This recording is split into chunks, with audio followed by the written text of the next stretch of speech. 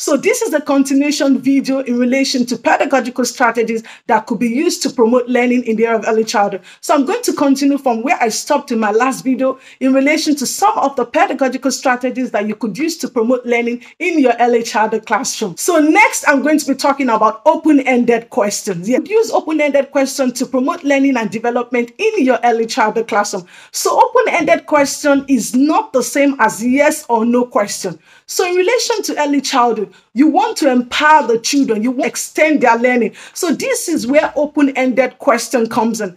A question such as, boys and girls, what would you like to do today? So you're giving them the options to decide what they would like to do. Instead of saying, would you like water play or sand play? So definitely they're going to choose either water play or sand play. But when you ask an open-ended question such as, boys and girls, what would you like to do today? So you're giving them the options to be able to decide to choose what they would like to do today. So open-ended question could be used to promote learning and development. So for instance, when you're sharing story with the children as well, so you could ask them, them, what do you think is going to happen in the next page? Yes, what do you think is going to happen in the next page? Kana, what do you think is going to happen in the next page? So this is an open-ended question. You're giving the children the opportunity to think, to tell you what they think is going to happen in the next page. It's different from saying, oh, do you think the dog is going to come for the lion in the next page? Definitely they're going to say yes or no. But when you ask them question, what do you think is going to happen in the next page? They are going to think. This to do with the children using their imagination. So they are going to think for a second what do I think is going to happen in the next page? And it shows that they are following the sequence of the story. So open-ended question is another pedagogical strategy that you could use to promote learning in the early childhood. Another pedagogical strategy is modeling. So modeling is show and tell. So you're showing the children what you want them to do. For instance, if you want to introduce something new into your early childhood classroom, what modeling comes in. So you're showing the children, oh, boys and girls, this is what you're going to do today. You're telling them, oh, you're showing them how to do things. For instance, if you want the children to wear their coat, so you're showing them how to wear their coat. So you're modeling this. You're showing them, you're saying, boys and girls, watch me while I wear my coat. Watch me how I tie my shoelaces. So you're modeling this.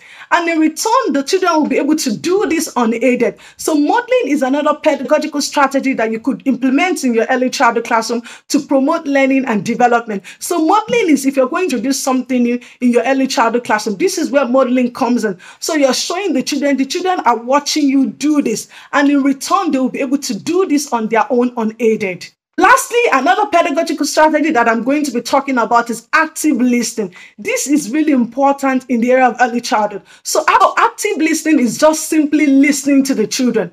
But in relation to active listening, you have to stop whatever you're doing and you pay closer attention to the children. You're maintaining eye contact. You're at the lower level where the children can see that you're actually listening to them. So active listening is not being on your phone or you're talking to another child and then you're saying, Florence, I can hear you say what you're saying. No, active listening is you're paying closer attention to the children. Your posture says it all. Your eye contact, you're looking at the children. You're at their lower level. You're sitting down beside them it shows that you're listening to them and they'll be able to tell you what they want to tell you. Active listening does promote learning and development in the in childhood. It's going to boost the children's self-confidence. They're going to know that yes, somebody is listening to them and it's going to encourage them to want to talk to you more, to all you more. So I hope you've taken note of the pedagogical strategies that I've listed in relation to what you can use to promote learning and development in the early childhood classroom. So can you in the comment what pedagogical strategies you you use or other pedagogical strategy that you're going to be using based on this video.